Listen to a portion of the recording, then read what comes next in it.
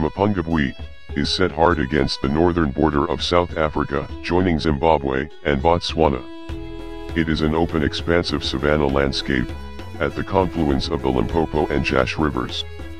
Mapungubwe developed into the largest kingdom in the subcontinent, before it was abandoned in the 14th century. What survives are the almost untouched remains of the palace sites, and also the entire settlement area dependent upon them, as well as two earlier capital sites. The entire sites present an unrivaled picture of the development of social and political structures over some 400 years. Mapungubwe's demise was brought about by climatic change. During its final two millennia, periods of warmer and wetter conditions, suitable for agriculture in the Limpopo-Shashe Valley, were interspersed with cooler and drier pulses.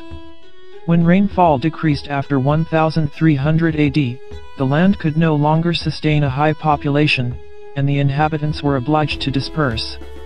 Mapungubwe's position as a power base shifted north to Great Zimbabwe, and later to Khami.